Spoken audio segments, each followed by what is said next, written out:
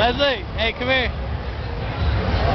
It, it's a movie. I'm gonna do. I'm doing a little movie. Oh, you are? Oh, great. Yeah. So, how does it? How does it feel? how does it feel to be uh, Austin's most popular? Uh, I don't tell know. you, it's uh, really, uh, it's, quite an honor to have people from Boston love you. you know? Yeah. What can I say? Going down the street, everyone calls your name. You know, how does it? How does Oh, it make hey. you feel? I live the life. Is it the best feeling in the world? Huh? The best feeling in the world?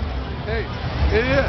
Yeah. It's great being a success. Hey, you remember that time that you jumped in my Jeep and I gave you a ride to your, your place on Congress? Yeah, definitely. Yeah, that was some time ago. You great. jumped, you jumped in the back and we were drinking yeah, some beer. was- yeah, that's why uh, it's great because people from Boston are so cool. So what do you want to what do you want to say to the people of Austin?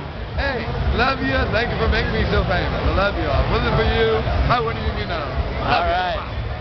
All right, man. Talk to you later.